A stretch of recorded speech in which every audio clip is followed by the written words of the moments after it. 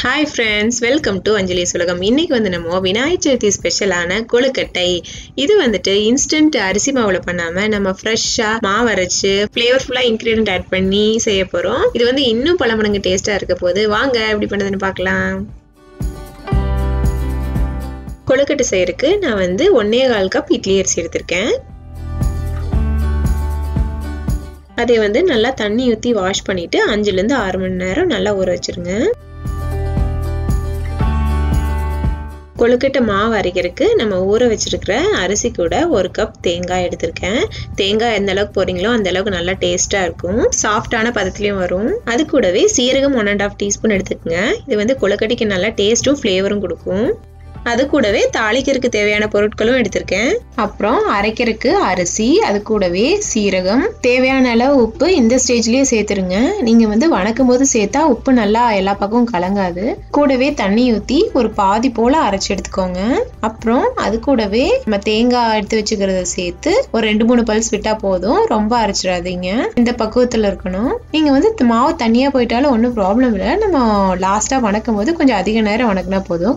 இந்த மாதிரி கோர்ஸாக இருந்தால் தான் நல்லாயிருக்கும். இட்லி மாவு பழத்துக்கு நல்லா சாஃப்டாக அரைச்சிடக்கூடாது அடுப்பில் பேன் வச்சுட்டு பேன் சூடானதும் தேங்காய் எண்ணெய் ஊற்றிக்கோங்க இதுக்கு வந்து தேங்காய் எண்ணெய் தான் நல்லா ஃப்ளேவர் கொடுக்கும். கொஞ்சம் அதிகமாகவே ஊற்றிக்கோங்க ஏன்னா வணக்க போகிறோம் இல்லையா? அடி பிடிக்கும்.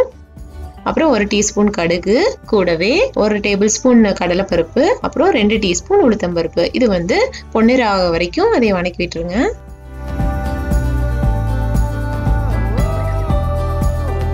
பொன்னிறமானதும் ஆறு பச்சை மிளகாயை சின்ன சின்னதாக நறுக்கி வச்சிருக்கேன். அதை சேர்த்துக்கோங்க. கூடவே நறுக்கின கருவேப்பிலையிலையும் சேர்த்துக்கோங்க. சேர்த்துட்டு ஒரு தடவை நல்லா வணக்கி விட்டுருங்க. ஒரு பெரிய வெங்காயத்தை இந்த மாதிரி நறுக்கி வச்சிருக்கேன். அதையும் சேர்த்துக்கலாம். வெங்காயம் நல்லா பொன்னிறமாக வரைக்கும் நல்லா வணக்கி விட்டுடலாம் இதுக்கு சின்ன வெங்காயம் சேர்த்துக்கலாம். இன்னும் நல்லா டேஸ்ட்டாக இருக்கும். வெங்காயம் நல்லா வணங்கினதும் நறுக்கி வச்சுக்கிற கொத்தமல்லி இலைகளை சேர்த்துக்கலாம். சேர்த்துட்டு ஒரு தடவை மிக்ஸ் பண்ணி விட்டுருங்க. அப்புறம் நம்ம அரைச்சி வச்சிருந்தோம் இல்லையா மாவு அதை வந்து இதுக்குள்ள ஊத்தி நல்லா கலக்கி விடணும். அடி பிடிச்சிடாம பாத்துக்கோங்க.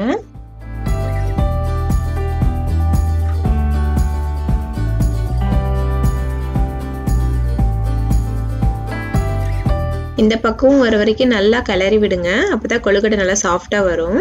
அவ்வளவுதான் மாவு ரெடி ஆயிடுச்சு. ஸ்டவ் ஆஃப் பண்ணிட்டு நம்ம வேற பாத்திரத்துக்கு டிரான்ஸ்ஃபர் பண்ணி வச்சிடலாம்.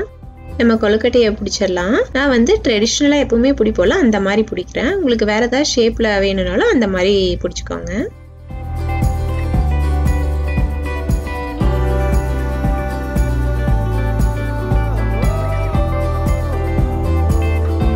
நம்ம கொழுக்கட்டைக்கான மாவெல்லாம் பிடிச்சி ரெடியாக இருக்குது நம்ம அடுத்து வேக வச்சிடலாம்.